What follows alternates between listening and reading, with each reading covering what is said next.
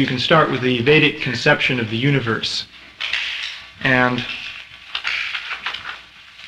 of course, in the Vedic conception, the, uh, the universe is created by a supreme being, by uh, Krishna. Uh, but basically, the description in the Vedas is that the earth is considered to be at the center of a relatively small uh, structure. And the various planets, sun and moon and so forth, are circling around the earth. And going out to a certain distance, there's a series of shells. Uh, actually, it's described there are uh, seven shells covering the universe, according to the Vedic picture. And in the uh, Vedic literature, it's described that there are many universes uh, existing within the causal ocean, and each one is surrounded by a series of shells like this. And these are practically innumerable. Uh, there are various descriptions given. For example, they're compared to bubbles of foam within the ocean. And you can just imagine how many bubbles of foam there are in the ocean. Or they're compared to the uh, uh, grain, um, see, mustard seeds in a barrel of mustard seeds and so on. Well, in other parts of the world, this same conception existed. Uh, so, in the ancient Mediterranean area, uh, where the Greek and Roman civilizations and so on existed, people also had practically the same conception of the universe. As far as I'm aware, the idea of many universes floating within a causal ocean was not described outside of India, although maybe people did have that idea, but it just hasn't come down to us so prominently. But the ancient Greeks, for example, uh, also had the idea of a uh, universe which was contained within a shell. Uh, the Earth was at the center, and the different planets were moving around the Earth. So that conception was there. Now, uh, in the Vedic literature, there's one uh, basic description of the universe, which in the books we have is presented mainly in the fifth canto. And that describes a number of unique features, such as a uh, universal mountain, which we call Mount Sumeru, uh, and so on. You also find that in very ancient times, people in many parts of the world had this idea of Mount Meru. For example, the Greeks had this idea. They called it Mount Olympus. And by the time we come to the Greek civilization, they had placed it in Greece, uh, a sort of parochial viewpoint. But the Greeks were fond of Greece, so they wanted everything to be there. So their Mount Olympus, though, really corresponds to Mount Meru because uh, it's a mountain on top of which the gods are dwelling. Zeus and so on lived on top of Olympus. So likewise, on top of Mount Meru, there are the dwelling places of different uh, demigods and so forth. Also, the Scandinavians had the same idea. Uh, I once saw a map of the, uh, the universe according to the, the ancient uh, Norse, uh, the Vikings and so forth. And there was a central island with a ring-shaped ocean around it. And in the center of that island there was a vast mountain. And on top of that mountain there was what they called Asgard, which is the uh, dwelling place of the gods, with Thor and, and so on and so forth. So this conception of the universe used to be found all over the world. You can trace it in many different cultures. Uh, so that's one conception which was existing in ancient times, but also in ancient times there's existing the conception of the earth as a globe and the planets as moving around the earth in different orbits. So that's also there in Vedic literature. There are books such as the Surya Siddhanta, which describe the Earth as a globe, and they describe how the different planets orbit around the Earth. And these texts give mathematical details for calculating where the planets are at any given time. This is of interest to astrologers because they do their astrological calculations based on where the planets are within the zodiac.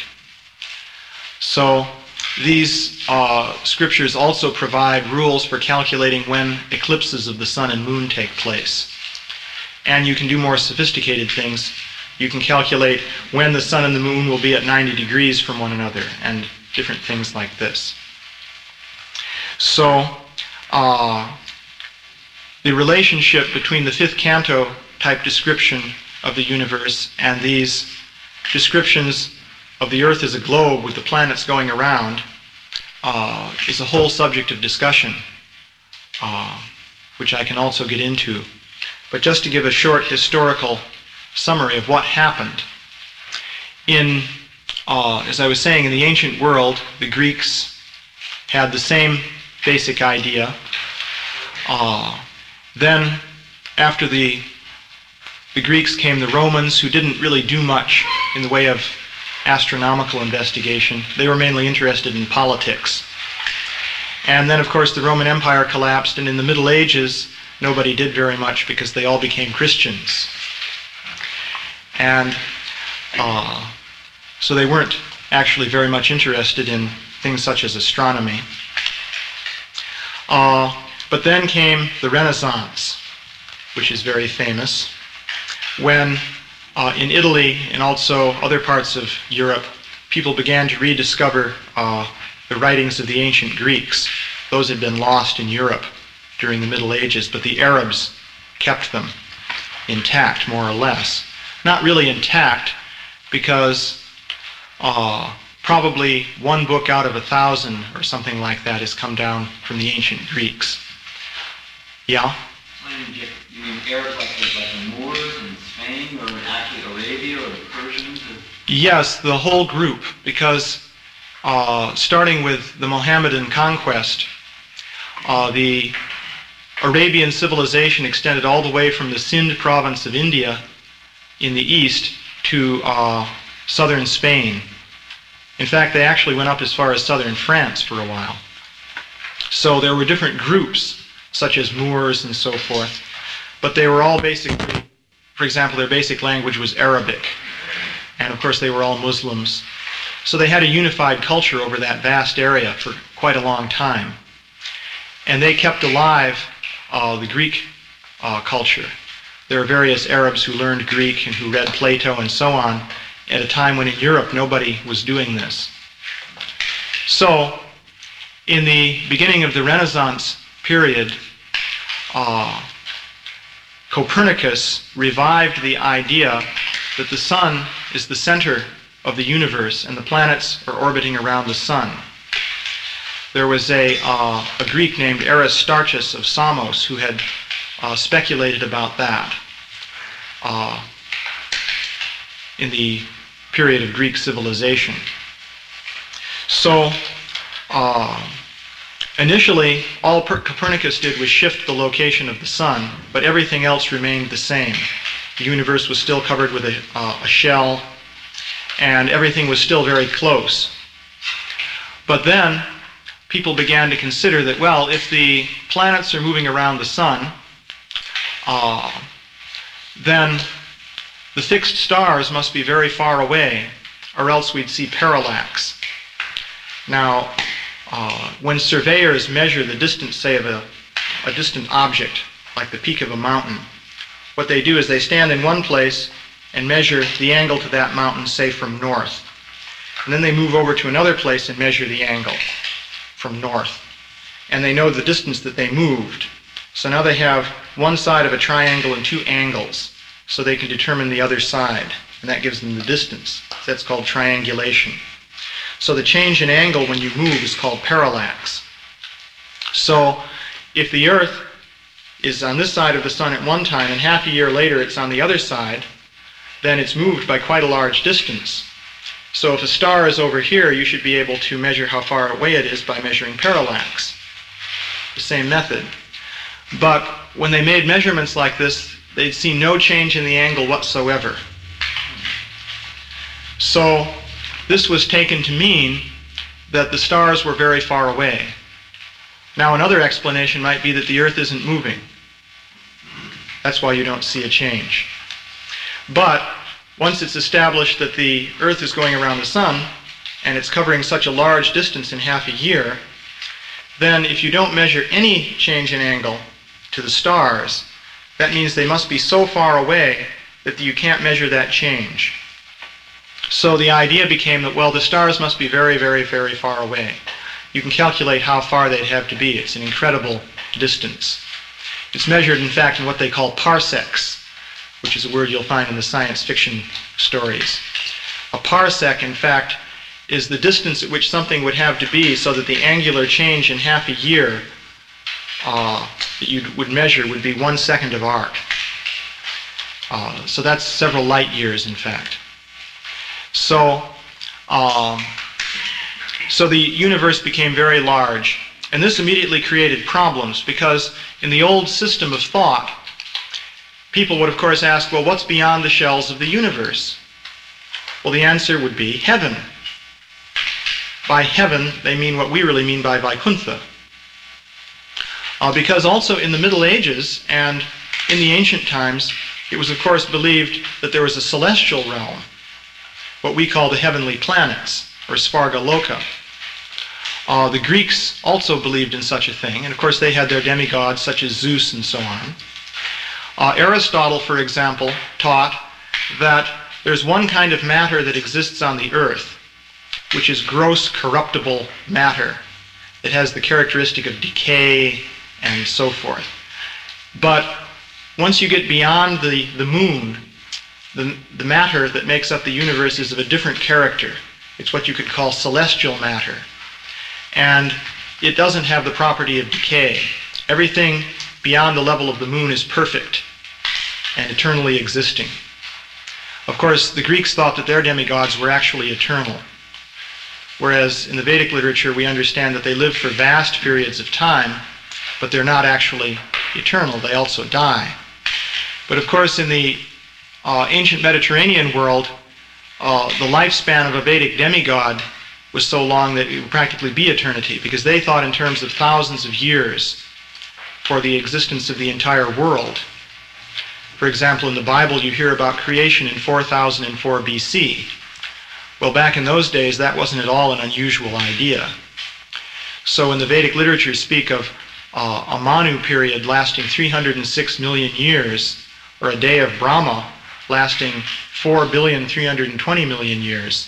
That's practically eternity from the viewpoint of ancient Mediterranean people. So, uh, so the idea then was that there was a heavenly realm. Uh, the Christians populated the different planets with angels, which are practically like demigods. Uh, if you read Dante uh, with his uh, Dante's Inferno and Paradiso and so forth, you'll read that in the moon, the, uh, the moon is the place where pious people who really weren't all that great spiritually, but still were pious, uh, would go after death. Uh, so they would live in the moon. And then people who were a bit better would go to other planets, such as Venus and so forth. And then those who were really very advanced spiritually would be able to go to the Empyrean realm, which is actual heaven, which lies beyond the shell of the universe. So the idea is that people were thinking that there's this shell to the universe, and as you go out beyond the earth, you come to celestial regions of demigods. Then you come to the shell. Then beyond the shell is the kingdom of God. And God is there, presiding over his spiritual kingdom. So they had a place for God. It was all very believable and understandable. So uh, after Copernicus, though, when the stars were made so far away, the shell was done away with and the universe became a vast region of mostly empty space. Because if the stars go so far away, then mostly you, you simply have empty space. And so it hardly seems plausible that that could be inhabited by demigods because it's just a, a huge void, basically. So, and then also, where does the kingdom of God disappear to? Because if there's no shell anymore, then there's no more room for a kingdom of God. And another thing that developed in the Renaissance was that uh, people started applying geometry to understand nature. Uh, this wasn't done in the Middle Ages, and even the Greeks didn't really do it. The Greeks were the people who developed geometry to a large extent. This is what you'll be told if you go to school. But uh, it's not necessarily true, by the way. Uh, for example, in the Vedic literature, there's something called Silpa Shastra, which is a practical manual for how to construct fire sacrifice altars. Um, and it, contains elaborate geometrical rules. It seems that in the Vedic period, an altar had to be constructed with very great precision. Uh, this is similar to the fact that the mantras uh, used in the sacrifice had to be pronounced in a very precise way, or else they would not have a, the proper effect. So, similarly, the altar had to have just exactly the right geometrical form. And so they used geometry in order to construct these forms. So they had all kinds of geometrical rules whereby you could construct different triangles and circles and so on in an appropriate way. For example, the altar might have a very elaborate shape, like the shape of a large bird. Uh, but the area had to, had to be precisely fixed. So, how do you build a bird shaped structure with the right angles and so on, which has a given area?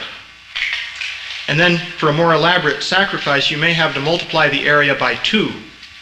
So if you multiply the area by 2, how do you change your construction so that it has the right shape, but now twice the area? So they could solve all those problems. And they used geometry to do it. For example, the Silpa Shastra uses the Pythagorean theorem, which says that if you have a right triangle, the sum of the squares on the sides equals the square on the hypotenuse. And they had it in general form also, not just in specific cases. So, uh, the interesting thing is that in the Silpa Shastra, though, no formal discussion of geometry is given. It just uses geometry.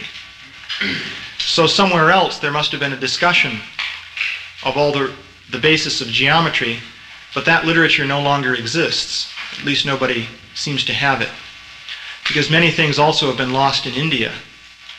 Uh, so, over the course of years with different invasions and so forth. So the Greeks had developed geometry, and everyone has heard of Euclid.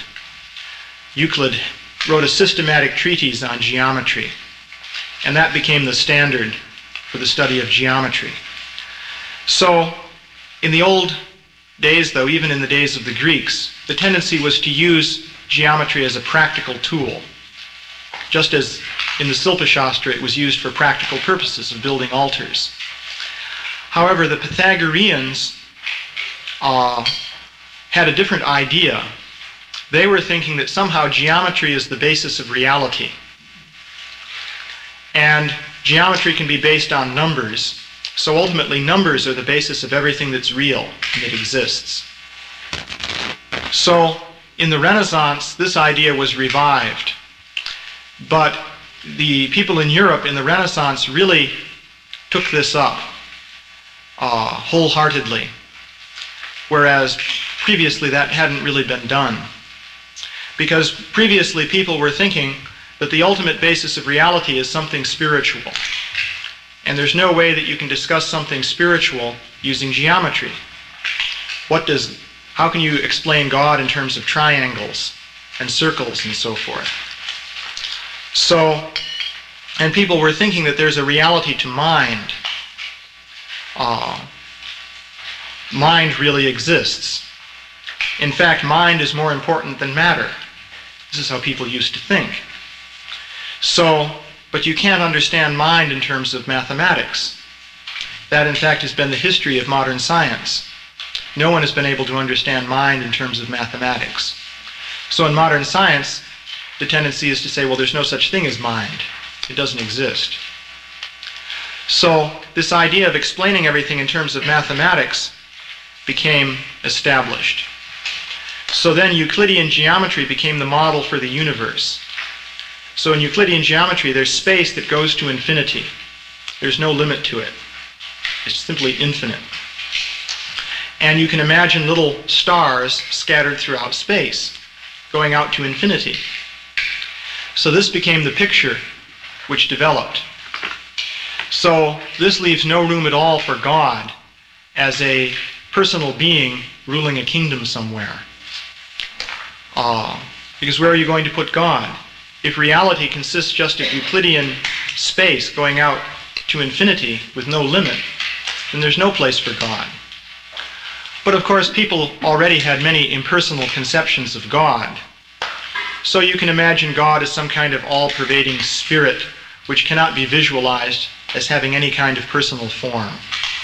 And you can say that the naive, common people may think that God is an old man with a beard sitting on a throne somewhere, but we know that actually God is an indescribable spirit. Uh, and also, some philosophers began to develop the idea that God really is geometry. And in fact, Isaac Newton took up that idea. Because Isaac Newton believed in God. He had to, because in those days, if you didn't, you were in real trouble. They'd burn you at the stake.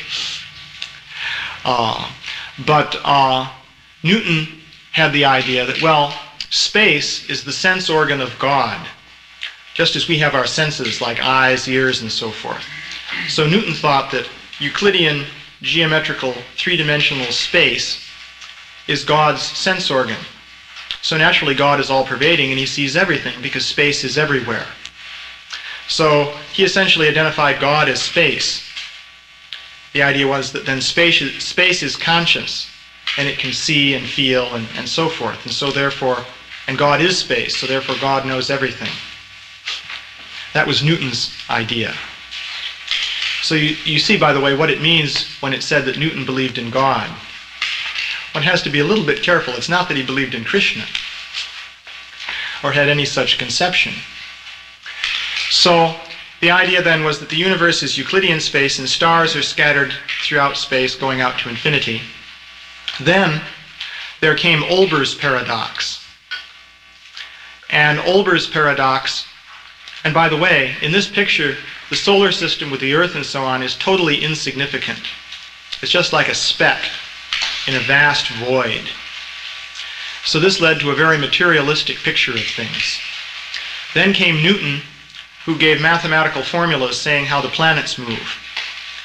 And this eliminated the need for an intelligent being to be controlling the planets, because it should also be pointed out that in the Middle Ages, the people were thinking that the planets were guided by angels. Even Kepler, the uh, astronomer, had the idea that there was an angel behind each planet, or sort of within the planet, and that angel was moving the planet. Well, of course, that corresponds exactly to the Vedic idea, because according to the Vedic conception, there are planetary demigods. That is, the Graha, or planet, in the Vedic conception, is really the demigod. For example, in the uh, description of the churning of the Milk Ocean, we find the sun and the moon sitting down together to drink this nectar. And then Rahu sits down next to them because he wants to drink it too. Uh, and so on. So the planets were regarded actually as personalities. Uh, and also there's a personality of the earth, namely Bhumi.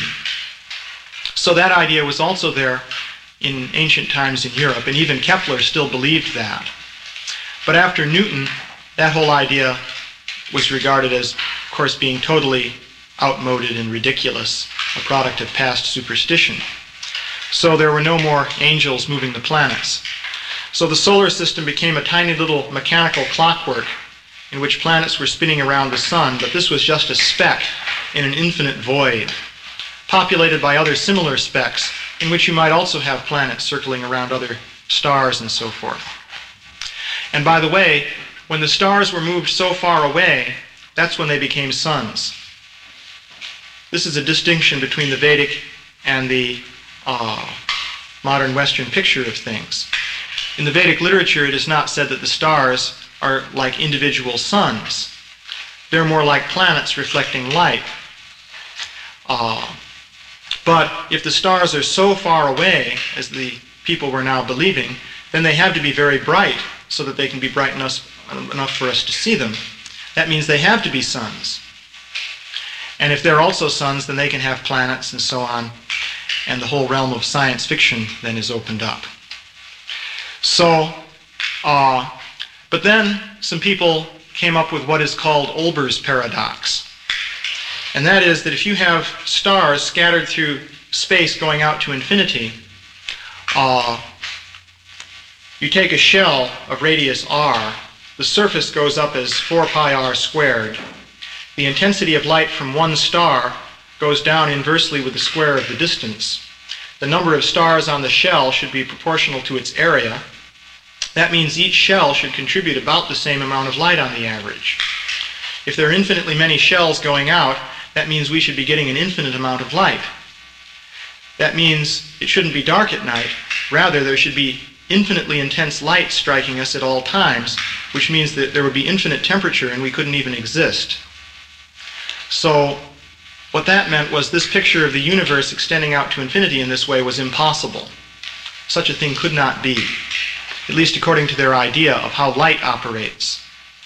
And that includes the inverse square law and so on. So uh, this began to sink into people's minds, and various attempts were made to get around it, and nobody, nobody could do it.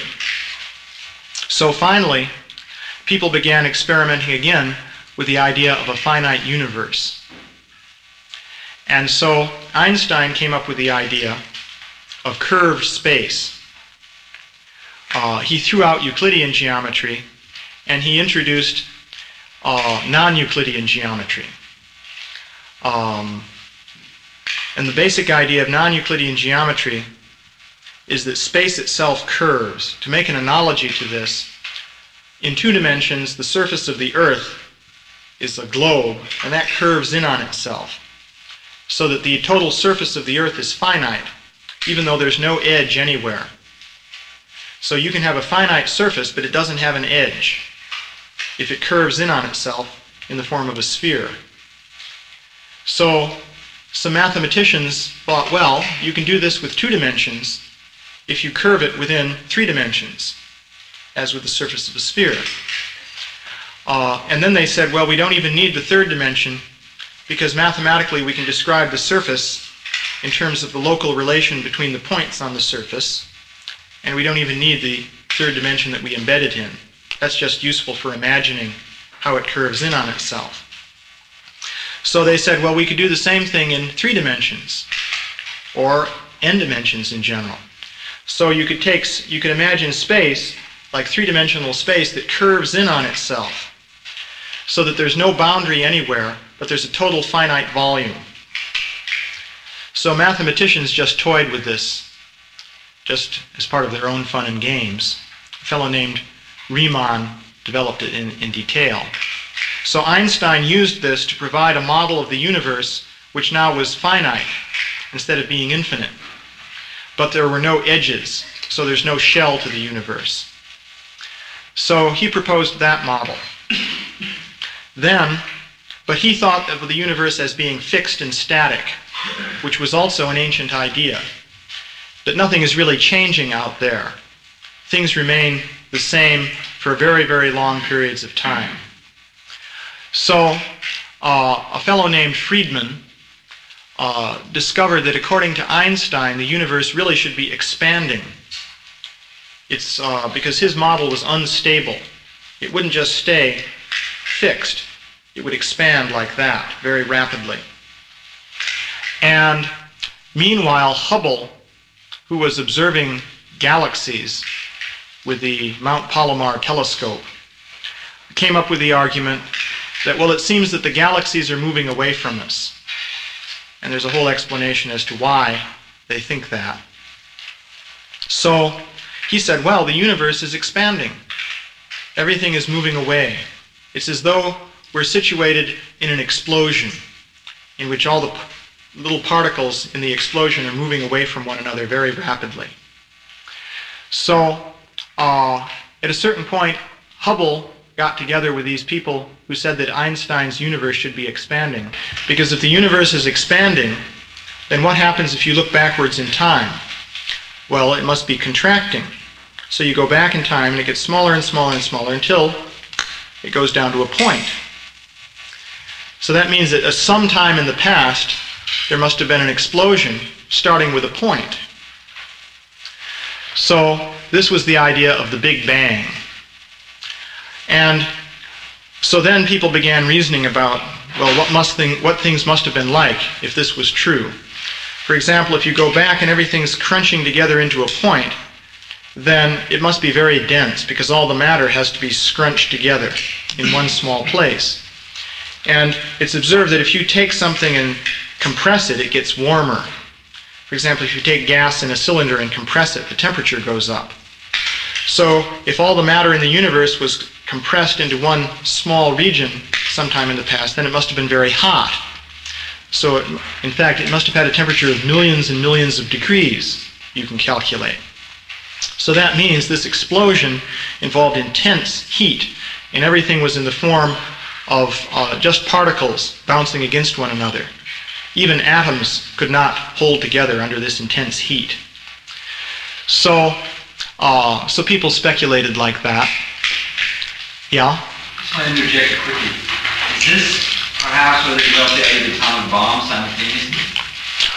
Well, And the, I not too far track. the idea of the atomic bomb developed at about the same time. That was another development, however. But that happened because they were studying atoms and subatomic particles and so forth. that wasn't connected with the small, very intense, that when it expands gives off a lot of heat. Well, of course, an atomic bomb is an explosion. But there, the idea is that you're releasing energy uh, which is already stored up in the matter. And when the energy is released, the thing explodes. But the Big Bang was a different kind of explosion. Because in Einstein's theory, um, you see, another thing about the situation is that as you go back, the contraction going backwards in time proceeds right down to a point. Mathematically, this is what happens in Einstein's scheme. Um, it's not that you go down to something very small, and that's the starting situation. But actually, you go right down to a point. Which means now going forwards in time, you start with a point, and the universe has to come out of a point. Now, this immediately is a problem with this whole theory, because starting with a point, why do you ever have anything but a point? Why should a point create a universe? After all, supposedly there are lots of points around. Here's a point. Here's another one.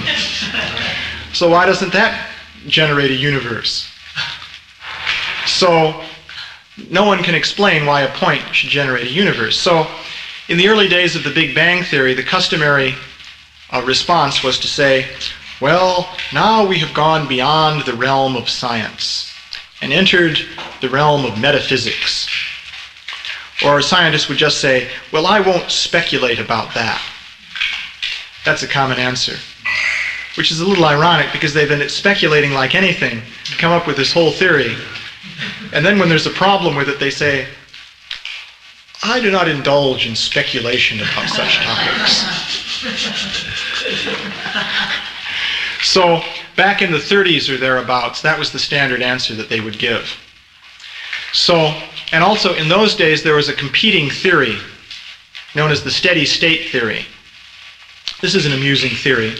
According to this one, the universe is infinite and expanding. Well, if it's infinite and expanding, everything's moving away from everything else. But according to this, matter appears out of nowhere in the intervening space. And this just happens. Because if you can postulate one thing, you can postulate another. So why not postulate matter coming out of nothing? May as well. So After all, if you're going to postulate the universe coming out of a point, why is it bad to postulate a little bit of matter coming out of a void? So, according to this theory, the universe is expanding and matter is popping out of the void and providing new galaxies to fill up the space. And it, it all balances out so that the thing is in a steady state. As the, uni- as the galaxies get further apart, new galaxies appear. So you always have the same number of galaxies in any volume. Uh, so that was the model invented by Fred Hoyle and uh, his collaborators. Uh, but that model got kicked out. And Fred Hoyle became a renegade. And now, uh, well, Fred Hoyle has uh, hidden out in the, the mountains of Wales somewhere, and his, his address is not even available. But then that's because of other infractions that he committed in the scientific realm. So practically they tarred and feathered him and, and drove him out.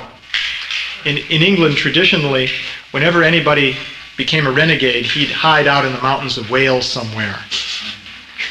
People used to do that to avoid being burnt at the stake, in fact. But so Fred Hoyle's hiding out. Uh, of course, he, he committed other crimes. Fred Hoyle finally became a creationist. He argued that God created everything. And for a science to, scientist to do that is the ultimate heresy. Uh, and then, even worse, he did things like argue that interstellar space is full of things like bacteria, which was considered to be a very bizarre thing for a scientist to propose. And then he even went so far as to give evidence for it, which was almost worse. Uh, so, if you mention the name of Fred Hoyle to a scientist these days, he'll immediately start cursing because everybody's learned the word on Hoyle. So the steady state theory is out. So the Big Bang theory was considered to be somewhat speculative, though, up until uh, a few years ago. Uh, and a few years back, it seems that some scientists named Penzias and Wilson, who worked for Bell Labs, were directing a, a radio telescope to various directions in the sky. And they picked up this dim hissing sound, uh, meaning that radiation was coming in at a certain wavelength. And they couldn't figure out what the source of it was, because it was of the same intensity in every direction. So it didn't seem to come from any obvious stars or planets or galaxies or anything like that. And originally they thought their equipment may be just producing the hiss, but they checked all the equipment and nothing seemed to be wrong. So then some other people said, well, if the universe began with a big bang and was, there was intense heat in the beginning, then there was intense radiation propagating in all directions.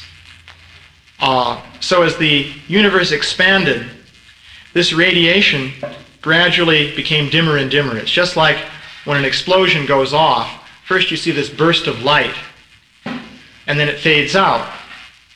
So the idea was there must have been this radiation that over all these years since the original explosion has been fading out. But still it should be there with a certain intensity. And so they calculated that it would have a very, very low intensity. And it should be the same in all directions. Because the explosion is completely uniform according to this theory. So these people said, aha, the hiss that Penzias and Wilson are picking up in all directions must be that original primordial radiation from the Big Bang. And they said, aha, that proves it. That conclusively demonstrates that the universe did come about by a Big Bang. Well, that was their reasoning. So that may seem a little tenuous. Uh, but what happened then was what you could call the Big Bang bandwagon got started up. And it became established that you have to believe now in the Big Bang. Because how else could we explain that radiation? So, uh, the steady state theory was completely repudiated, and the Big Bang theory was established. And since then, it has become the established dogma. Uh, now, this is a phenomenon that tends to happen in science. In science, what will happen is that a given theory may be rejected for years, and it doesn't matter what evidence is in favor of that theory, it's just rejected. But then at a certain point, a sudden flip flop will occur, and the theory will be established as truth. Everyone will accept it. And the evidence that, that used to be rejected as being totally inconsequential is now accepted as proof that the theory is true. So that happened with the Big Bang Theory. Because the Big Bang Theory really got started back in the 30s or thereabouts. And in the late 40s, George Gamow predicted that all the different elements in the periodic table could have been synthesized in the Big Bang. But then later on, people realized that mathematically that wouldn't work out anyway. So you had to have some other, other explanation for where the elements came from. So uh, up until the 60s, the Big Bang wasn't accepted. But then, when this discovery of the so-called cosmic black body radiation was made, that did it. And everyone flipped over and began accepting the Big Bang. So now it's accepted practically as the gospel truth. And if you talk to scientists, you'll find that they take it for granted. They just regard that as, you know, accepted. It's not even open to, to question. Uh, so, of course, in science, you'll also be told by scientists that um, in science we never prove anything. We're, we always merely consider tentative hypotheses. This is supposedly what scientists do. That's the creed. But at the same time, you'll find, so therefore a scientist really shouldn't believe something like the Big Bang Theory. He should just consider, oh, we don't really know, but this is a tentative hypothesis. But what you find is that people, being people, have to believe something. It's actually human nature to believe something about the world. And so, uh, the scientists are no exception to this. So they also have to believe something about what's really there in the world. So nowadays, the tendency is to believe the Big Bang Theory. There are a few scientists who don't accept it, but uh, they're considered to be eccentrics nowadays, and they're just a few of them, a handful, essentially. So everyone else is riding on the Big Band, Big Bang bandwagon. So um, that's a historical account of, of how this all came about. Now you can see essentially from that what our task is, or what we're trying to do essentially, because we're trying to take this whole process and go all the way back to the original Vedic conception of the universe, which I uh, started the description with. Uh, so essentially, that's like uh, reversing the whole course of history for, as it's taken place over the last 300 years or more. Uh, we want to go, it's like saying we're going back to the Middle Ages. So people will tend to think that that is the most ignorant and backwards and uh, completely uh, useless thing you could possibly want to do. It means throwing out all scientific progress and going back to the age of superstition when people still thought that angels were moving the planets around. But that's what we're saying. So you can see the task which we're confronting. And of course, we actually have to confront it. Basically, our tendency is to really not discuss these things.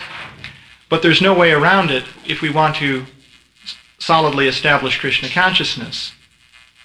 Uh, and Srila Prabhupada was, of course, very well aware of this. And that's why he wanted the Bhaktivedanta Institute to carry out this program. And I should mention here that, as you know, Srila Prabhupada wanted to create a transcendental city in Mayapur.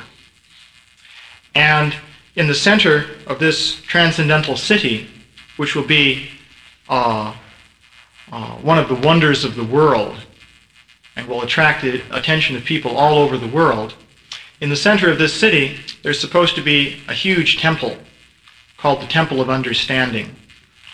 So the idea is that this temple will be the center of all uh, spiritual, metaphysical, and physical understanding of the nature of reality.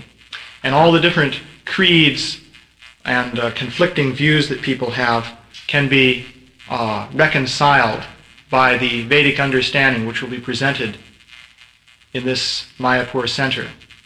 And in the middle of that temple, Srila Prabhupada wanted a model of the universe according to the Vedic description. That means that the, this model of the universe will be the very center of attention for the entire world. That means that Srila Prabhupada was putting a model of the universe according to the fifth canto at the center of the preaching effort of the Krishna consciousness movement. So one should consider what the implications of that are. That means we can't avoid it if we want to carry out that instruction. There's no way we can just go on and preach and think that, well, we'll just leave this aside because only a few questions come up now and then, and, well, we won't put much emphasis on it. At least we can't do that if we carry out this instruction. Well, it's getting late again. We'll have further additions to this class. Uh, any questions or comments? Yeah? In this Big Bang Theory, is there a conception that originally there was no space Yeah, that's an important point. In Einstein's conception, space curves in on itself. So what is outside of the curve? Well, nothing. It's not even imaginable. All of space is just this closed, curved continuum. And there's no outside. You can't even get outside because wherever you go, you just go around the curved continuum. There's no way out, and there's no outside. So all of space is this closed continuum. And as you go back and back, it gets smaller and smaller. And when you go right back to the initial point, there's no more space. That means nothing exists. It's not that there's a void and a point in the void explodes and fills up the void with a universe. That's not the conception. The conception is that there's nothing. Literally nothing. Not even space. Uh, so that's the conception in the Big Bang Theory. Yeah? No, you mentioned it in the concept of the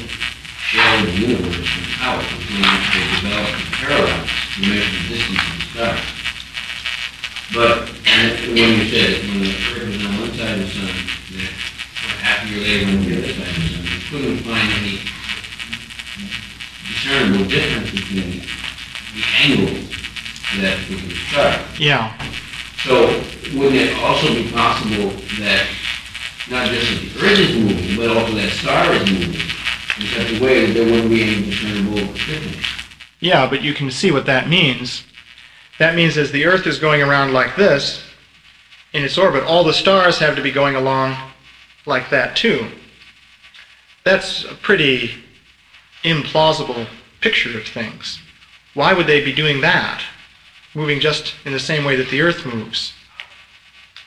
So, no one ever seriously proposed that as an explanation. Of course, there's another way of looking at that, by the way. If, as the Earth goes around in a circle, all the stars are going around in a circle too, that means, in effect, all of reality is going around in the same circle, so why not just say that that's standing still, including the Earth, and the Sun is going around the Earth instead?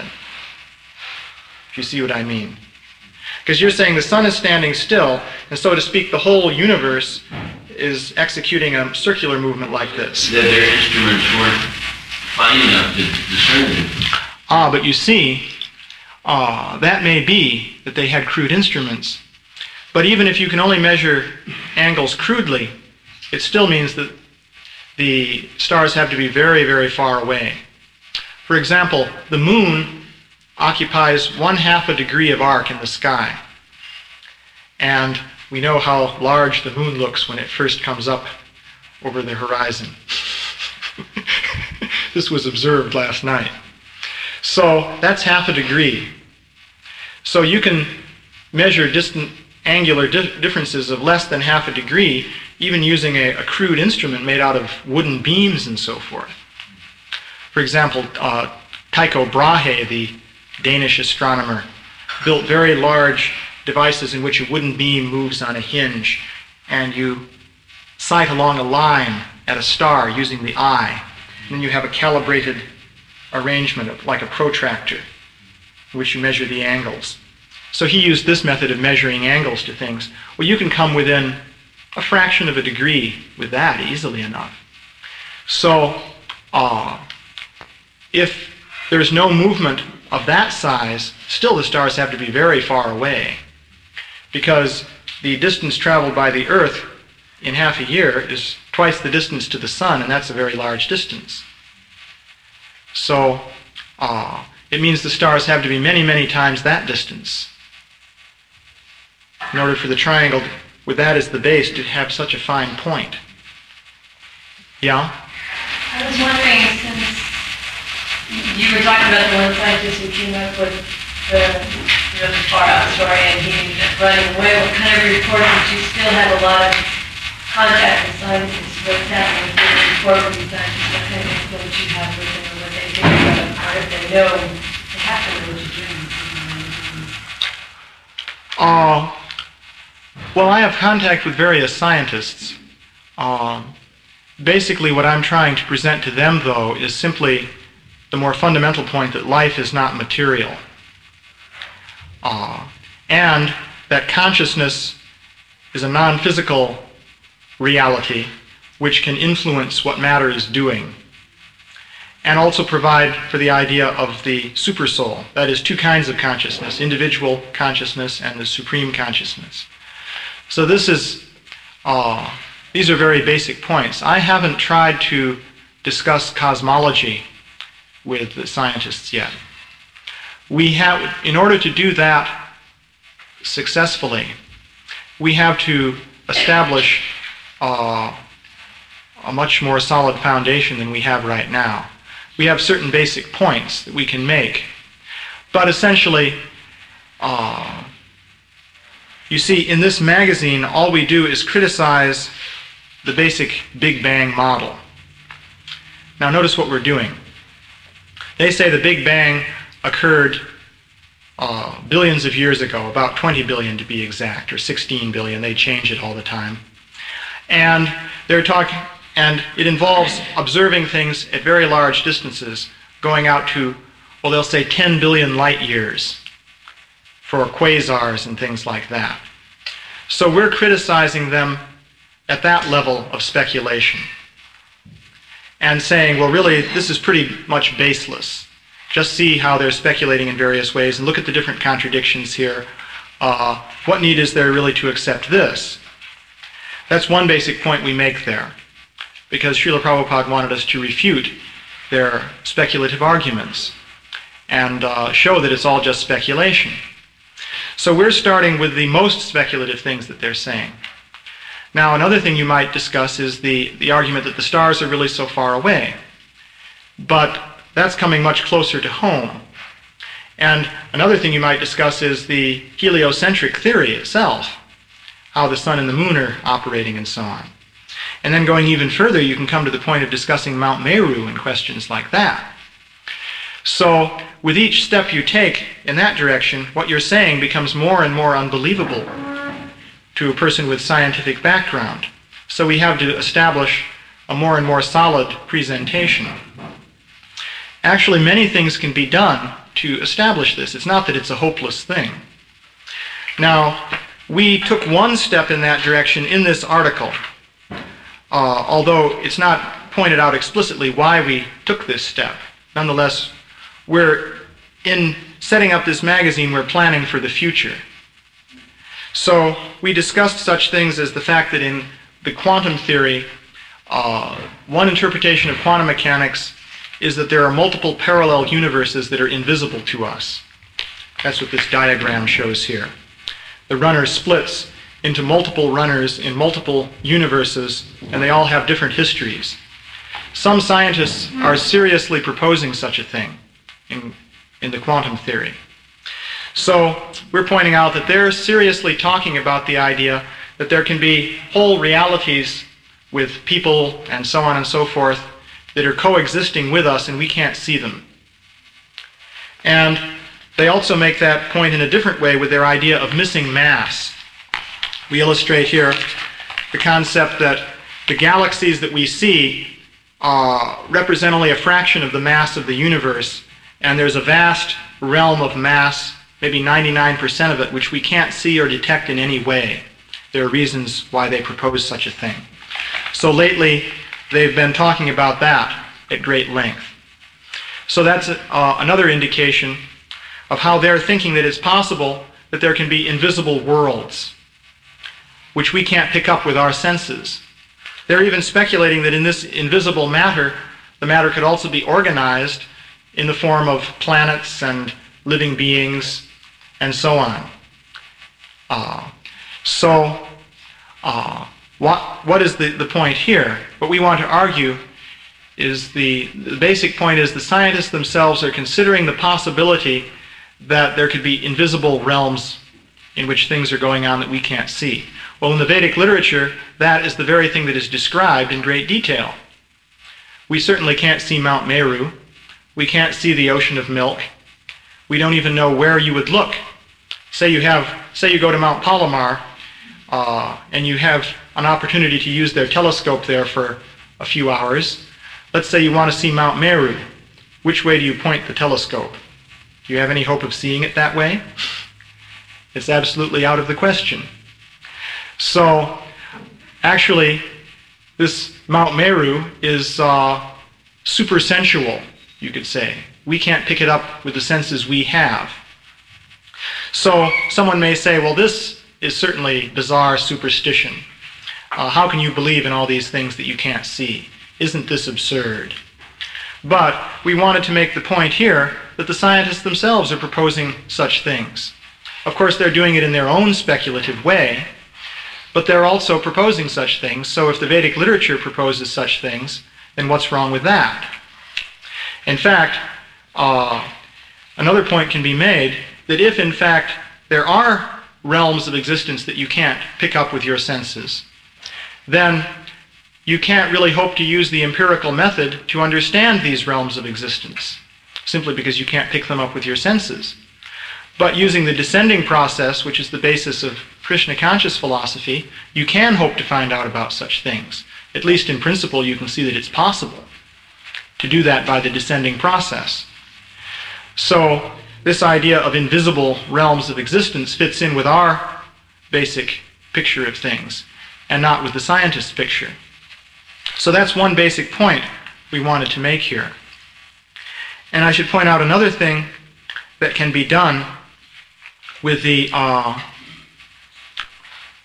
as far as this whole subject is concerned, is examining various empirical things that don't fit their theories.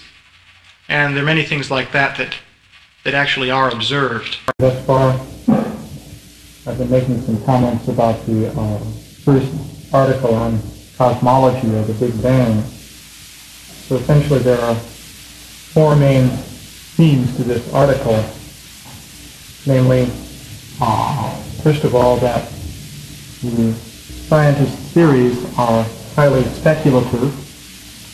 Secondly, that there are definite defects in these theories that can be pointed out. Uh, and then the third one is that the uh,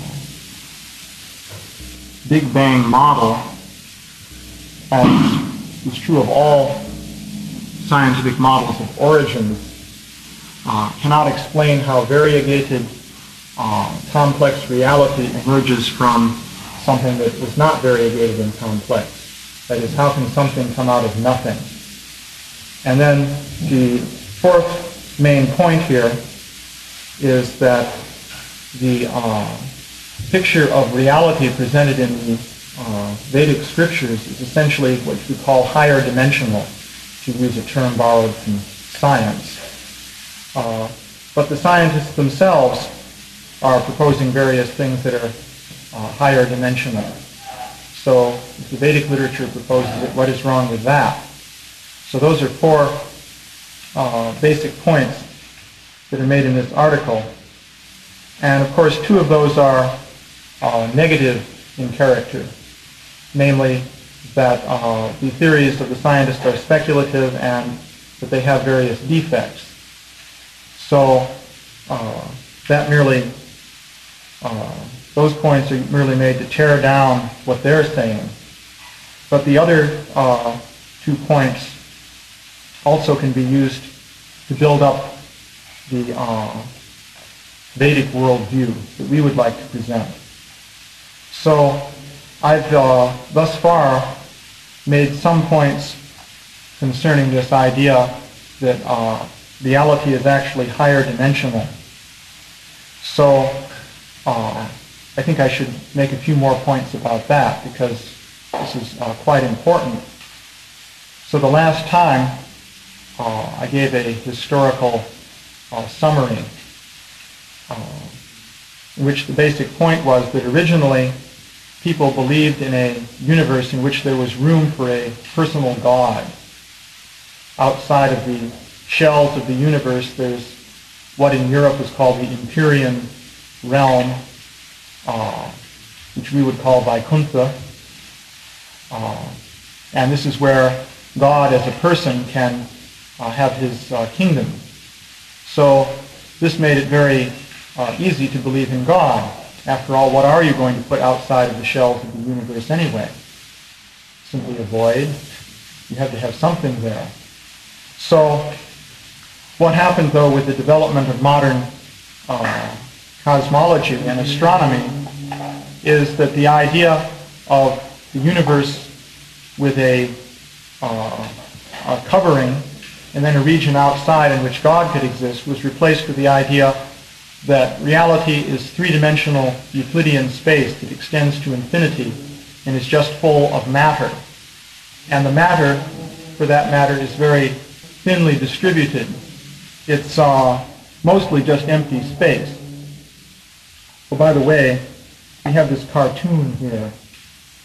Uh, you know, it seems this is a thing that we contrived. Actually, this is a picture of this was originally from Martin Luther's Bible, no less. And uh, it was a picture of Jehovah presiding over the creation. So in this circle here, originally there was a picture of the earth with Adam and Eve standing in the Garden of Eden.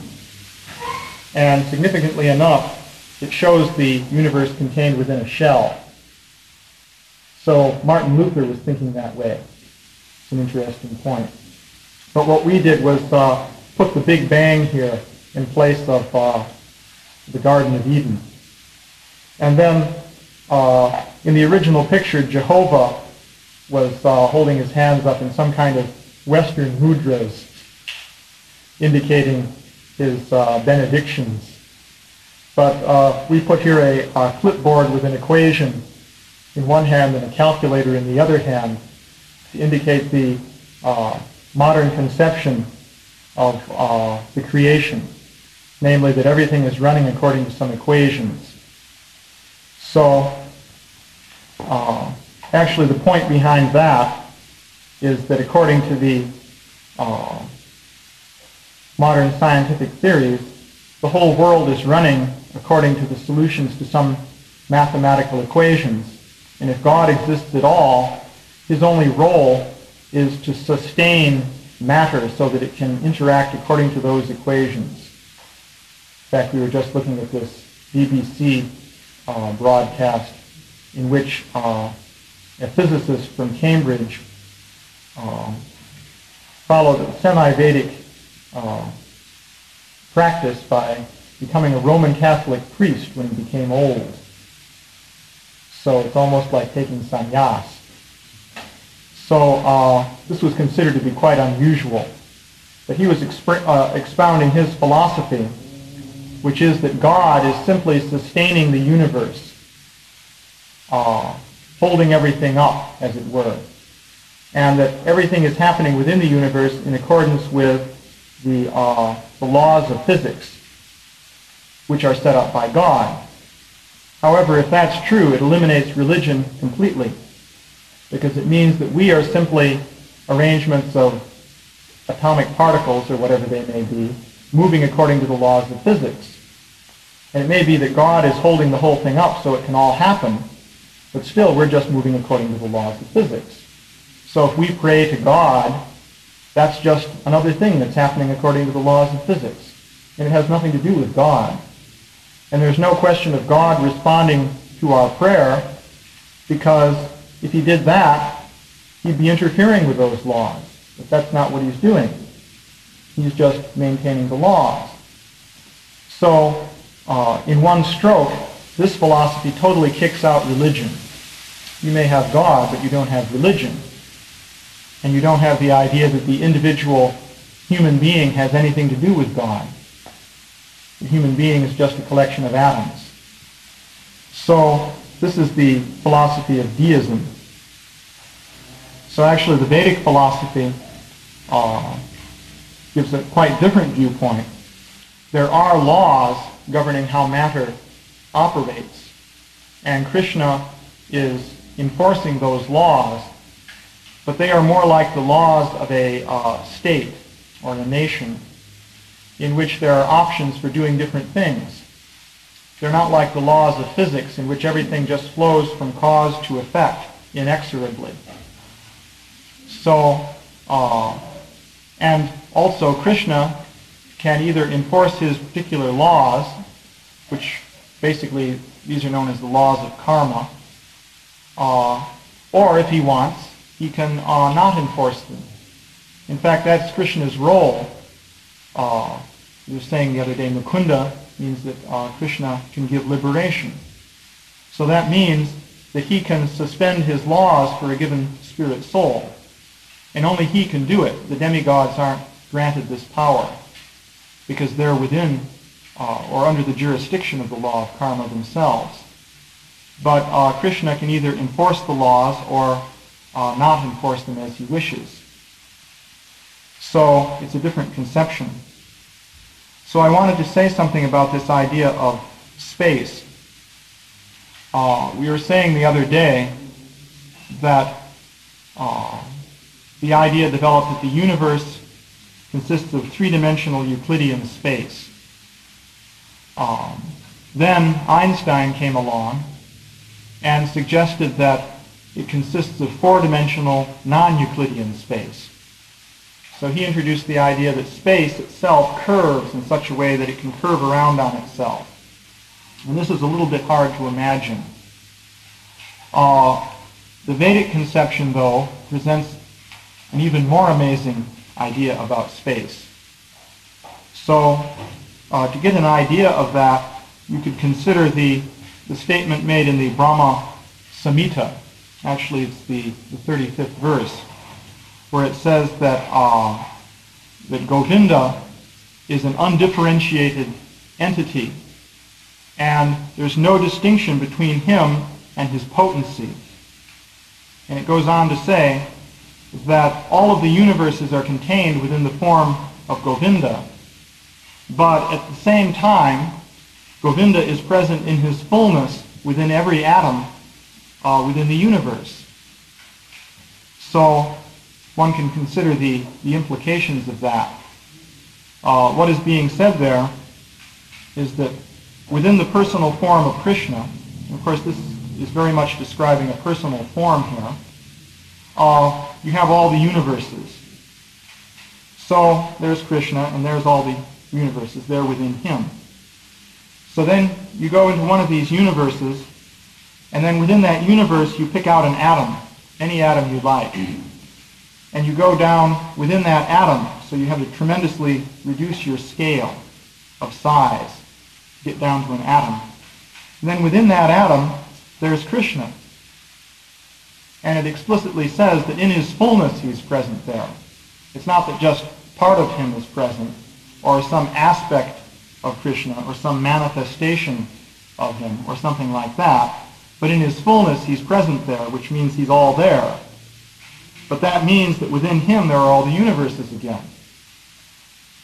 And you can go down to within one of those universes, any one you like. and pick an atom, and then within that atom there's Krishna. So essentially what this is saying is that every point is connected to every other point through Krishna. If you think about that. Uh, because suppose you could pass through Krishna. Now, this isn't even a speculative uh, idea because I'll give you a Shastric reference for it in a moment. But suppose you could pass through Krishna, then you could travel to any universe instantaneously. How could you do that? Well, take an atom like this one right here and just shrink down, assuming you can shrink yourself. This power is required. And pass through Krishna and go to any one of the universes since they're all within Krishna. And there you are. You've traveled to another universe. Just like that. So actually, uh, if you look in the Srimad Bhagavatam, you'll find many uh, references which show that, that this kind of process actually works. For example, there are two occasions in which Mother Yasoda looks into Krishna's mouth and sees the entire universe.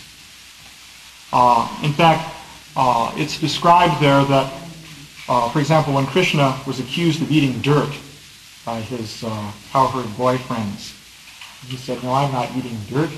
Just look in my mouth and see if there's any dirt there or not.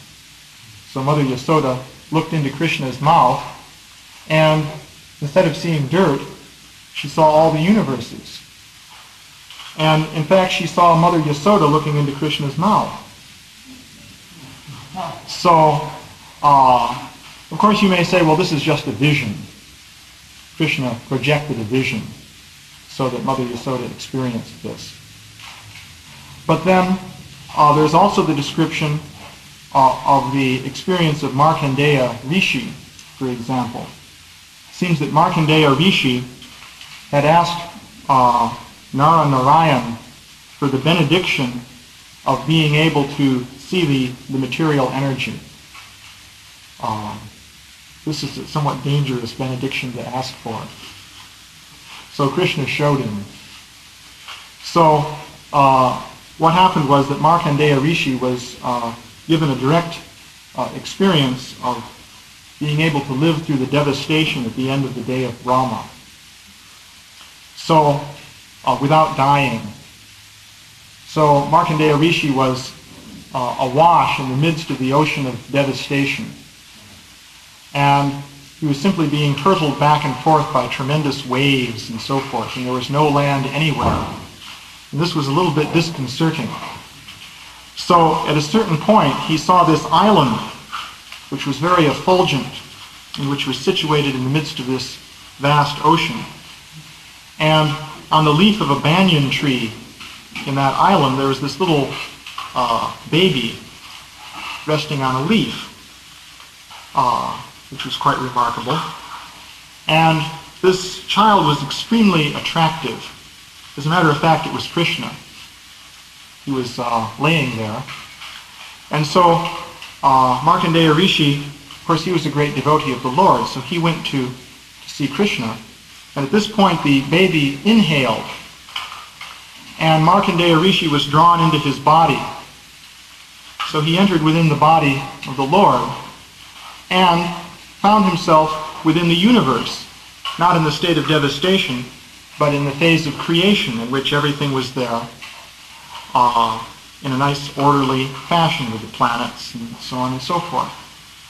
And then Krishna exhaled again and he came out of Krishna's body and once again he was in the ocean of devastation. So this is the uh, example. So the point here is that one cannot conceive of Krishna as being situated in three-dimensional space, or four-dimensional for that matter. Because the kind of situation that we're describing here is impossible if you're within, uh, say, three-dimensional space. If you have a form within three-dimensional space, then what is within that form is definitely smaller than what is outside of it. You can't say that what, out, what is outside also lies inside. But in the case of Krishna, that is the fact. Uh, actually, uh, you can look at. Hmm. Let's see. Uh, He's not walking out with the right. He's sort of like an avadhuta.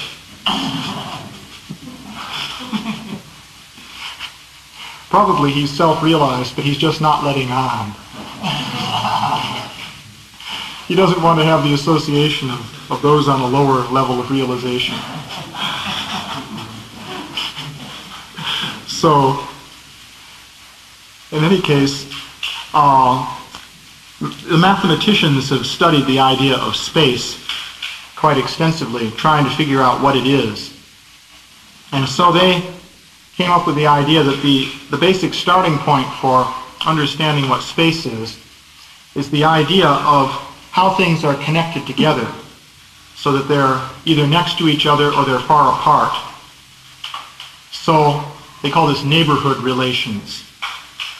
Uh, so if you take a bunch of points, let's imagine you have points, you can put them together with different neighborhood relations and get different kinds of space. For example, if you put them together in a, in a grid horizontally, you can get two-dimensional space. So each point you can imagine is connected to four neighboring points. It goes out in a plane. Or you can imagine taking the same points and connecting them together in a three-dimensional grid. That is, each point is connected now to six neighboring points. And there are various other ways you can connect them. So the idea is that the way they're connected together determines the space. So what this verse in the Brahma Samhita is saying is that from Krishna's viewpoint, every point is connected to every other point. So everything becomes a perfect unit. So uh, now the dimensionality of space is a measure of how things are connected together. For example, in the case where one point is connected to four, you call it two-dimensional. Or when one point is connected to six, you call it three-dimensional.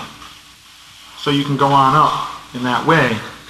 So if every point is connected to every point, you could say it's infinite dimensional. So that's the kind of uh, space that's existing in the, uh, according to the Vedic literature. So then, why do we see three-dimensional space only?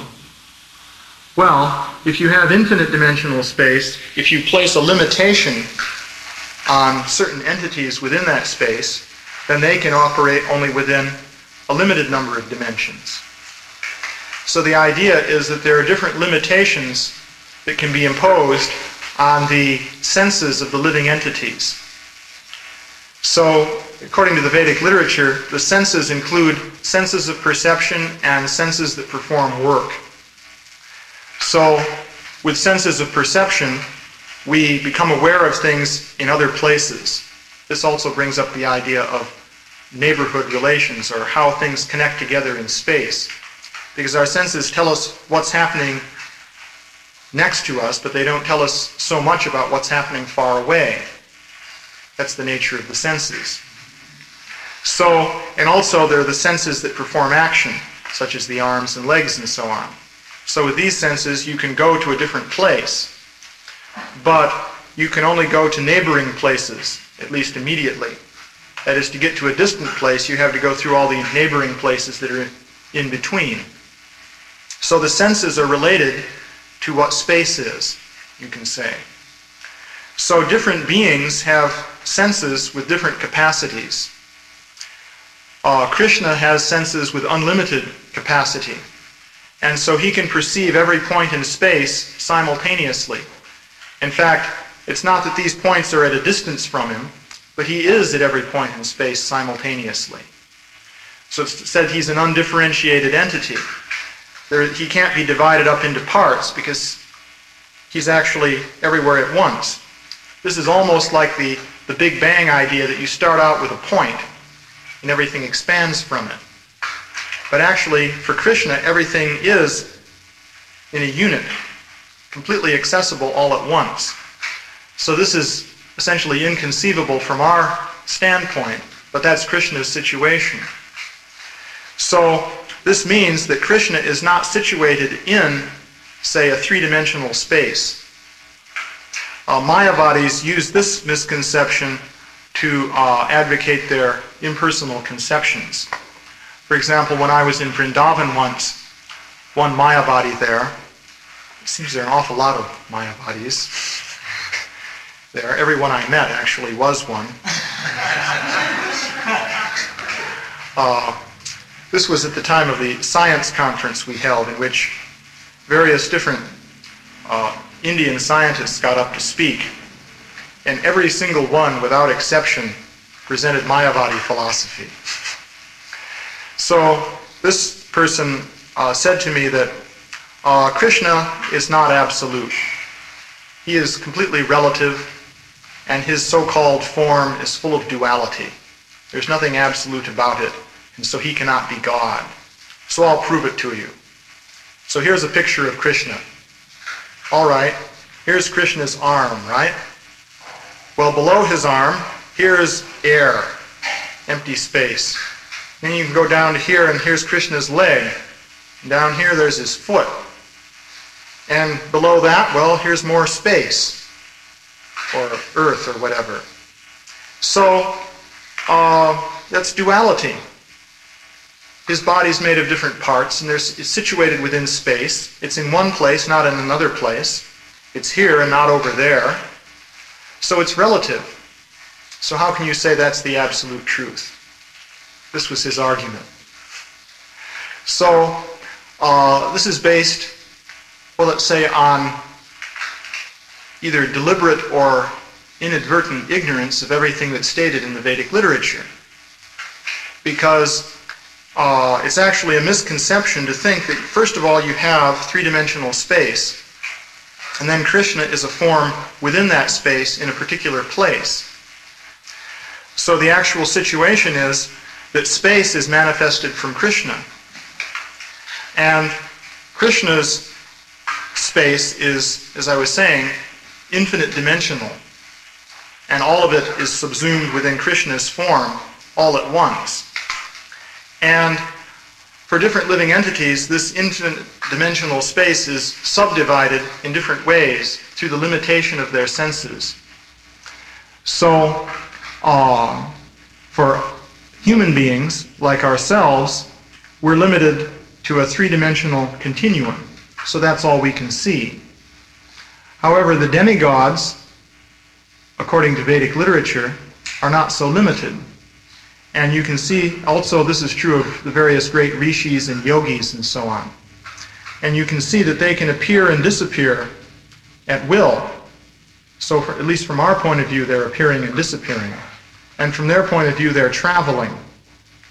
For example, it's described that a yogi, uh, Srila Prabhupada said actually this still happens, a yogi in uh, Haridwar or somewhere like that could enter the Ganges River and emerge at Allahabad to participate in the uh, Kumbh Mela. Uh, so it's not exactly that he swims underwater holding his breath. Of course, they're very expert at holding their breath, but still that's not the method. Somehow he just enters there and emerges in the other location. So for him, the, the way things are connected together is different than uh, it is for us. Also, there's the Prapti Siddhi, in which, for example, in the Nectar of Devotion, Srila Prabhupada makes the point that a yogi can reach out and touch the moon with his finger. So you might ask, well, how can that be? The moon is very far away. And by any standards, it's certainly far away. So how is it the yogi can just reach and touch it with his finger? Or a yogi can uh, reach out from here and pick some pomegranates in Afghanistan. That was one example. And they'll be here in his hand. So uh, this indicates for him things are connected differently. Because how does he reach all the way to Afghanistan? Uh, so the basic idea then is the demigods have a higher uh, degree of connectivity that they can operate in. And then personalities such as Narada Muni uh, are even more powerful than the demigods in this regard. Uh, they can travel directly to Vaikuntha, for example. Uh, for example, I was just reading about how when Dhruva Maharaj was liberated, a Vaikuntha airplane came to pick him up. This took him to Vaikuntha. So there's actually air transport, so to speak, between the earth and Vaikuntha.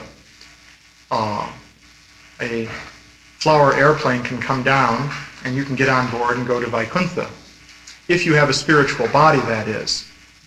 And Srila Prabhupada pointed out that unless you have a spiritual form, then it's simply not possible to do this.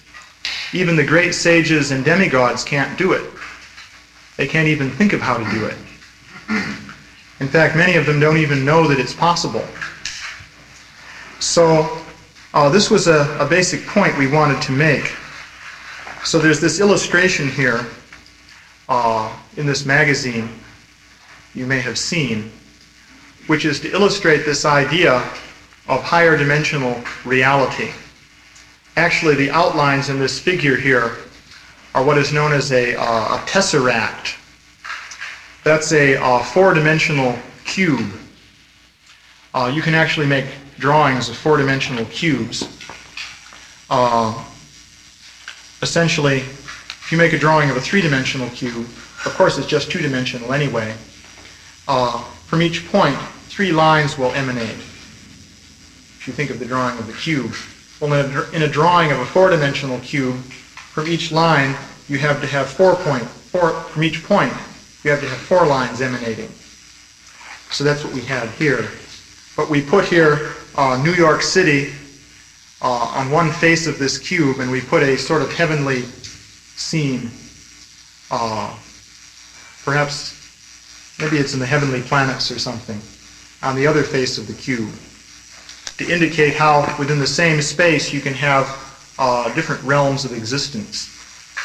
So, and of course, as I was saying, this is the, the Vedic conception, but the scientists themselves have played around with uh, similar ideas.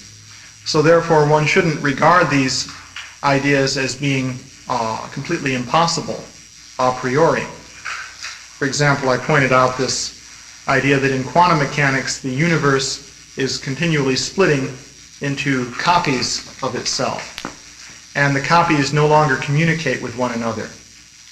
So according to this idea, we're having a certain experience, but this is only one universe. There's another universe that's branching off from this one in which we have different experiences. Uh, for example, there's another universe uh, which branched off from this one, say, 10 years ago. And in that universe, we're not here today, but we're doing something else. Or maybe we got run over by a car or, or something. And then another universe that branched off 50 years ago. In that one, maybe some of us don't exist or maybe we're quite different, and so on. So there's this theory, uh, which some scientists seriously contemplate, uh, according to which all these parallel universes exist, but we can't see them.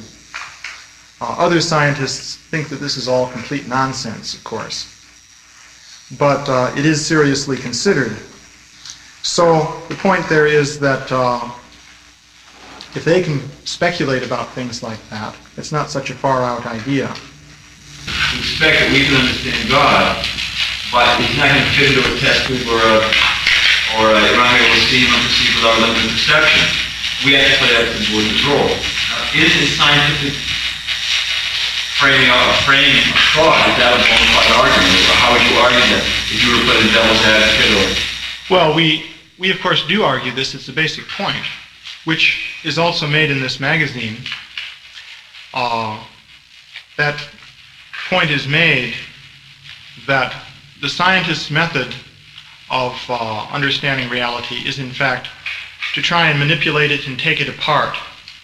The, the paradigm for that is a, a child taking apart a clock to try and figure out how it works, and then putting it back together again. So if you can take something apart and put it back together again, then uh, chances are you get a pretty good understanding of how it works. So that's the scientist's approach to things. So there are certain things that are within their grasp that they can try to take apart. You could say that uh, these are the things that are nearby and of medium size, basically. But if things are very far away or very large, then there's no way you can take them apart. And if they're very small, it's also not possible to take them apart. So the scientists are actually limited to sort of a medium range. That's why Srila Prabhupada said all their explanations uh, take place in the middle. They can't explain ultimate origins of things. To explain ultimate origins, you have to go down to the very small, unlimitedly small things, and also to the unlimitedly large things. And also, there's the time dimension. You have to be able to go back in time. So, uh, as a matter of fact, the scientists try to extend their uh, the penetration of their senses using various techniques and various kinds of instruments. So to see things that are very large, they use telescopes and then radio telescopes and so on. And to see the very small things, they use microscopes and also these particle accelerators are intended to enable them to see very small things. That's what they're for. And to try to go backwards in time, they investigate the rocks in the, in the earth and they try to use uh, to interpret these as records of, of what went on in the past. And then they try to use dating methods to find out how long ago these things happened. So in this way they try to gaze into the, the past. But these methods are imperfect and they become more imperfect the further you try to extend your grasp. Um, so Indeed, there's a fundamental limitation to science. That's a basic argument we would like to make. It may be that things work very well when you're dealing with things that are immediately within your control. For example, take chemistry. Uh, in the laboratory, you can mix together different chemicals and heat them and do different things with them and see that certain reactions take place. And that's more or less within your grasp. You can manipulate these things. And you can say with fair assurance that we see that they, the chemicals tend to combine in such and such a way, and it happens every time we do it. Uh, but when it comes to discussing the ultimate origin of things, uh, one has to go to things that can't be manipulated. Now, so you can say, well, how could you understand God then in that case? Well, of course, the, the basic point of our philosophy is that you can't understand God by the power of your senses or the power of your mind. If you try to do it in that way, you'll never understand God. You'll simply remain on a mundane platform. But if you surrender to Krishna, then Krishna, by his mercy, can tell you about himself. That is, we don't have the power to go to God using our own power, that is. But Krishna has the power to come to us if he wants. There's no limitation on what Krishna can do. So, if we please Krishna and he decides that he wants to reveal himself to us, then he can just come to where we are and present himself in a way that we can understand. Of course, that doesn't mean that we can ever understand Krishna in his fullness, because Krishna is unlimited and we're limited. So, how can the unlimited present itself completely to the limited. In that case, the limited entity would have to also become unlimited. So we can never understand Krishna in totality, but nonetheless we can understand Krishna to some extent. And Krishna, by his own power, can reveal himself to some extent to us. And so, of course, the basic principle in the Vedic literature is that if we surrender to Krishna, then uh, he'll be pleased with us and he will reveal himself. So the basic premise of bhakti yoga is that Krishna actually wants to uh, reveal himself to us. That's the natural state of affairs, and he will do it if only we're willing to cooperate with him. And cooperating with God means surrendering. uh, for a very tiny entity, that's the only reasonable kind of cooperation you could have between a tiny entity and God. So, therefore, our proposal is that if there is Krishna, who is supreme, supremely powerful and all-knowing, and so on, then there's a possibility that one can understand ultimate reality by surrendering to Krishna and having Krishna reveal himself. Uh, this is an argument you can present to someone whose position is one of total skepticism, let's say. Let's say, uh, you know, he doesn't believe any of these things, he doesn't accept Shastra or anything like that. But you can say that as a matter of, of logic, if there is a supreme being uh, who is endowed with all these powers and so on, then it's possible that you can understand that supreme being by surrendering to him, in which case he will re- reveal himself. That's a logical possibility. And the only way to really know if that works, of course, is to try it. How else could you know? Uh, if you say, I won't try it, but prove to me that it's so, then what possible sort of proof could there be? Uh, but you can try it. So that's a logical possibility.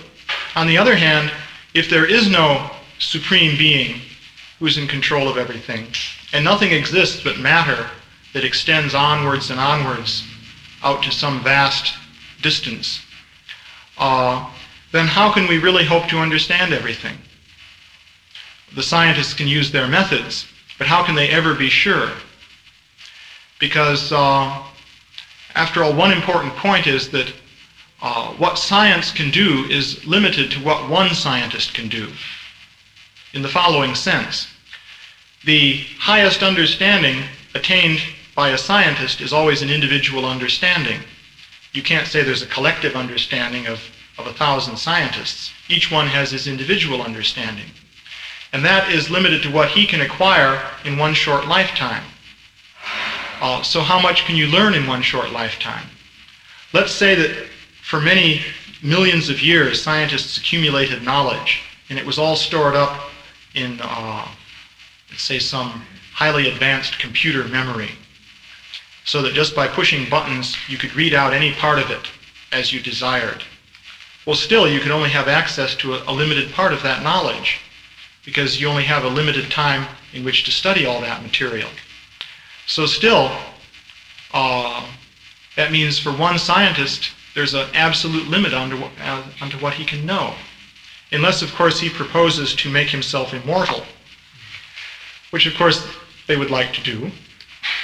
But uh, we'll have to wait and see on that one. We'll see if anyone is remaining uh, youthful for the next 50 years and consider that maybe he has a chance for immortality. But uh, of course, even that wouldn't prove anything. You could be youthful for the next 50 years and then get run over by a truck. So, so there's an absolute limit to what you can figure out using your mind and senses. So by that method, you have no hope. Let's face it. If you can prove anything scientifically, you can prove that you have no hope of really understanding everything scientifically. But if Krishna is really there, then you do have hope. So you can consider that. It's either nothing or maybe something. So why not consider the maybe something? What's the use of sticking stubbornly with nothing?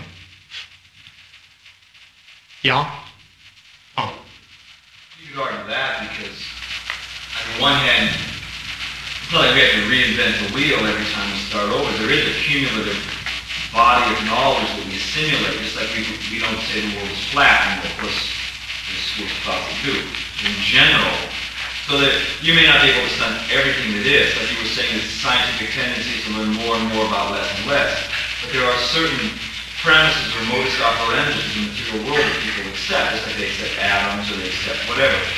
So one could say that this is the big, this is the scientific, uh, this is the religious uh, problems keeping us like an awesome with our head in the ground. We have made things. It's like I saw a recent film that was describing all the different, uh, describing people trying to fly. Yeah. And it was the funniest thing in the world seeing these these people. It was amazing the way people tried to fly, you know, jumping off cliffs, off barns, little machines that wave their wings, and you just, you know, you couldn't believe the things. It was ludicrous. But the point of the film was that by that constant progression and trial and error, we do get in a 747 and fly to India. So if you had poo-pooed them in the beginning, we would consider you is not it. We would sort of be like Fred Flintstone. Well, Fred, Fred Flintstone had pretty advanced technology. Look at all those trained dinosaurs that he had. There is, a cumulative, you know, I mean, we have, we may not be able to understand everything, but, but why should we stay around and do nothing? You know, where there's no nothing, we have to make our progressive, you know, we add our little bit and gradually, you know, life becomes better and, you know, we're pushing, God you know, we're pushing out the parameters of knowledge. Well, the point can be made that there's an There is- My point being that there is a cumulative progression of knowledge. Yeah, but how far can it accumulate? It's important to ask that. Uh, one has the idea, well, we can just go on to infinity. But how far can you accumulate it? This knowledge. For example, I can give uh, the following analogy. Suppose I say that I'm going to uh, jump over the boom, as one famous cow is said to have done. well, I can practice to do it. I can engage in, in efforts to improve my ability. Now, the first day when I try, I may jump three feet in the air. And this isn't much. But by working at it, a few days later, I may be able to jump four feet in the air. And I can say, well, I've made progress. And then, working at it still more, I can come to the point of jumping six feet in the air. So I can say I've made more progress. And I don't know what the limits are, but uh, what's the high jump record anyway? Anybody know? Tri- trivia fans? Well, that's long jumps. I think we want high jumps in this case. Well, one could say, taking that well, you say, well, look, so we- so we gave up on jumping, and we made a, generally, whatever it was, and we have done moon. I've got on my. Yeah, but let, let the, uh, the metaphor be understood in terms of, of the actual meaning of it. The point is that you may endeavor in a certain way, but that doesn't mean you can go unlimitedly. And I was pointing out a certain obvious limit. You see, in the case of jumping to the moon, there's an obvious limit. You know, you can strengthen your legs to a certain point, but at a certain point, legs can't do anything more. Uh, I doubt you, you're going to jump more than 10 feet in the air ever, for example. Uh, so similarly, but you may say, well, with machines and so on, we can unlimitedly extend our ability.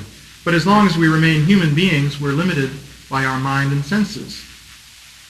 So how much can you learn? You may say knowledge accumulates, but how much of it can you study? Now you may say, well, this isn't a practical problem. Actually, we haven't had any difficulty in extending our knowledge thus far. But that's not true. Actually, today, there's what is called the knowledge explosion, which bothers people quite a bit, because nobody can study all the different things that other people are coming up with. So nobody really knows what science is doing today. That's the, the point that everyone is becoming narrowly specialized in learning more and more about less and less. It's not possible to learn all of the different things which people are studying. So one person can only have uh, a few little bits and pieces of knowledge. So uh, no one has yet seen how to get around that limitation unless you can build yourself a more powerful mind. Uh, of course, someone can say, well, yes, in the future we'll build ourselves more powerful minds. But uh, there's no real indication that you can do that. Anyway, if you build a more powerful mechanical mind, then that mind will inherit the future, but you won't. So, uh, which of course, actually there's one newspaper uh, uh, reporter was interviewing a professor from MIT who was working on artificial intelligence. And he said, well, how can you, and the, artif- the, professor was saying that, well, soon we'll build computers that are uh, a hundred times more intelligent than a human being. And the future will lie with these computers. Uh, maybe they'll keep us as pets. And so the reporter was saying, well, what about your own children? I mean, how can you work on machines that will replace human beings? And the scientist very nobly said that I feel myself obliged to aid, to aid the emergence of intelligence in whatever form it appears.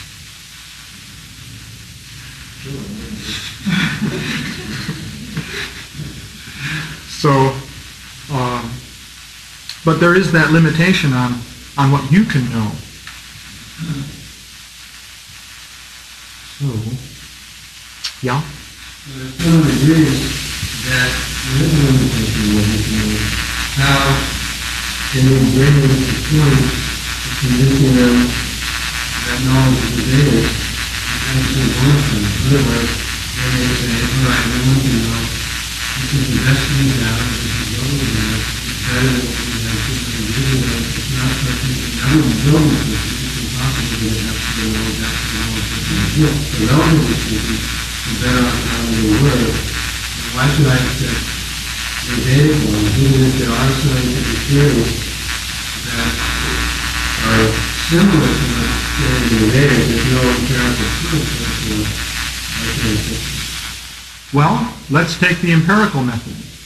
Now, I gave an argument saying that, well, if there is God and all that, then you could hope to obtain knowledge by surrendering to God and so forth. That's also essentially the argument made by Pascal, Pascal's wager. But let's say you don't accept that.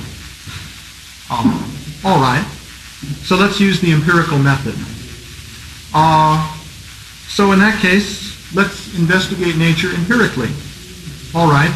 Thus far, we have done things with gross matter and built various machines. So that's nice.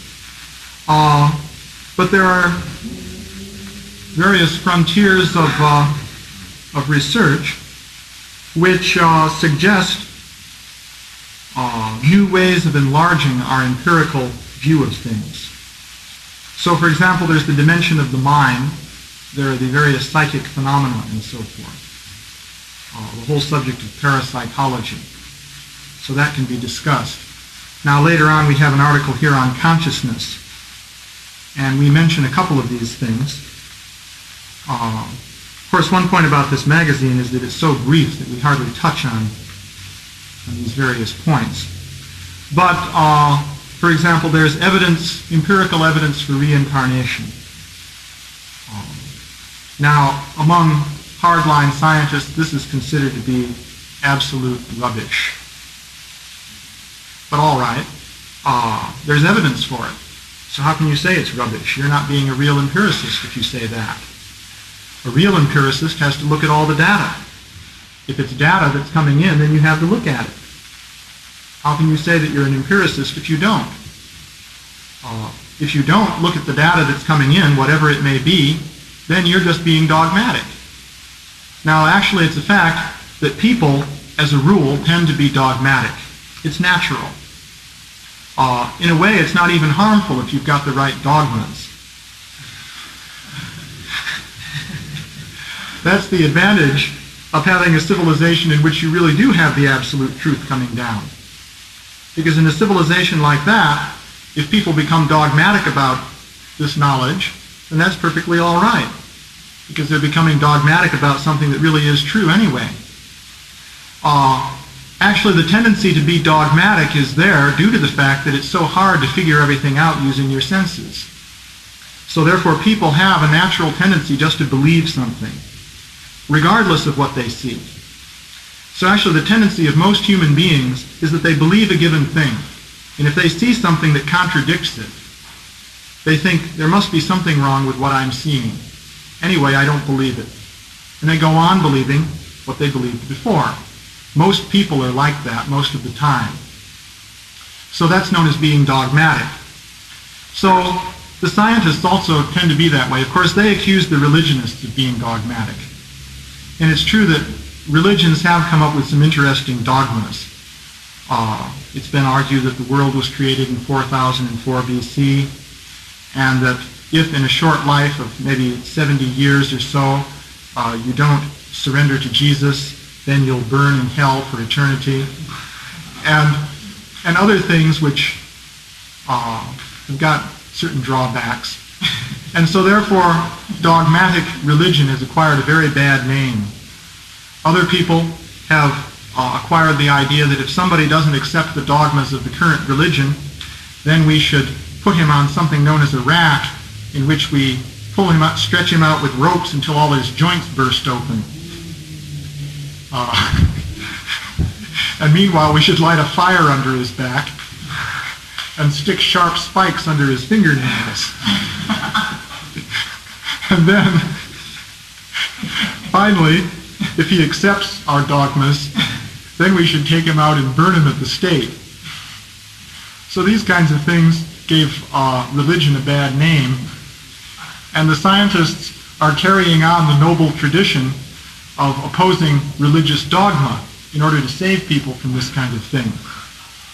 Uh, so they will say dogma is very bad, but unfortunately, uh, like other people, scientists tend to be dogmatic. So the tendency is that they will accept a certain viewpoint. So the physicists, for example, uh, have a certain theoretical picture of what is possible in nature. And they view everything as made up of atoms, electromagnetic fields, subatomic particles, and various things like this. So if you tell them, well, here we have evidence that a person is remembering a previous existence, uh, they will say, well, as far as our picture of things is concerned, that's simply not possible. Physically, there's no way that could happen. So therefore, it doesn't happen. So therefore, if somebody reports this, there's a mistake somewhere. Maybe somebody's making up the story or something like that. But the fact is there is evidence like this. So you can delve into it and see what the evidence is. Now, naturally, if you do that, since you're using the empirical method, you're going to run into problems. But if you're going to use the empirical method, you have to expect that. It is imperfect. Uh, you can never really be sure. There are always other ways of looking at the evidence and so forth. But that's the way it works with science. So if you say we've made all this great progress using that imperfect method, then why not use it here? Uh, why say at this point, well, it's imperfect, therefore we won't accept the, the conclusions? Uh, because you were just arguing a few minutes ago that using these imperfect methods we've made such great progress, so why shouldn't we use these methods? So, using the same imperfect empirical methods, you can, for example, find that there's evidence for reincarnation. But if there's reincarnation, what does that mean? That means that some kind of organized entity with mental powers, with memory, with emotions and so forth, uh, which is completely invisible, is leaving one body that dies and going somehow to another body which is being born, or maybe going into that body before it's born. Who knows exactly how it works? But somehow that has to be happening. And that's completely invisible. So that immediately means there's an invisible world. And it's inhabited with sentient beings. So immediately you accept one of the basic tenets of religion. Because all religions basically have said there's an invisible world, it's inhabited with beings who have different powers and so forth. So empiricism leads you to that conclusion. And then in this uh, magazine, we also indicated these out-of-body experiences. For example, here's a picture of uh, a fellow, sort of ghost-like being, hovering over an operating table.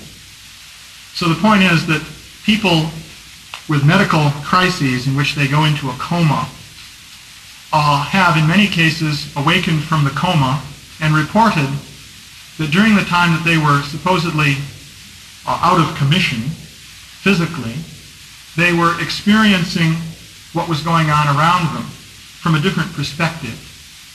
For example, this shows a person who's had a heart attack being resuscitated by uh, the electroshock method, in which they put two what they call paddles on the person's chest and put an electric shock through them.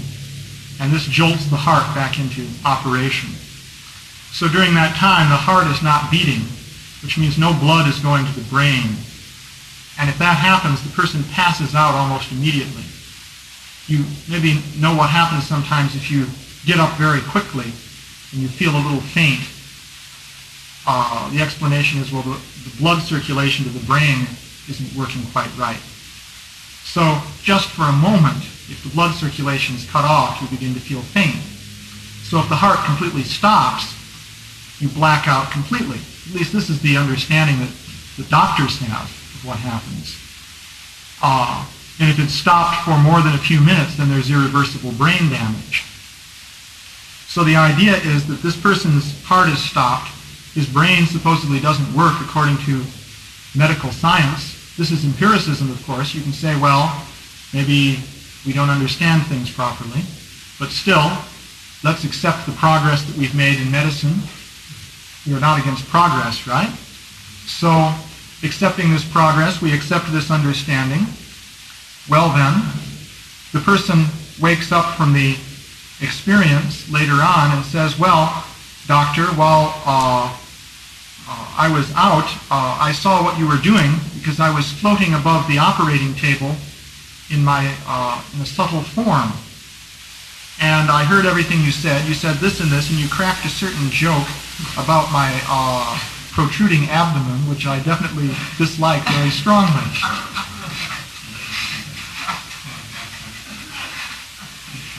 Uh, and furthermore, you did this, this, and this, and it turns out that it's right. So how did that happen? So there's empirical evidence uh, for the existence of the subtle body. So, if a person is actually an empiricist, then he can consider these things. Now, of course, the road of empirical investigation is a very long road.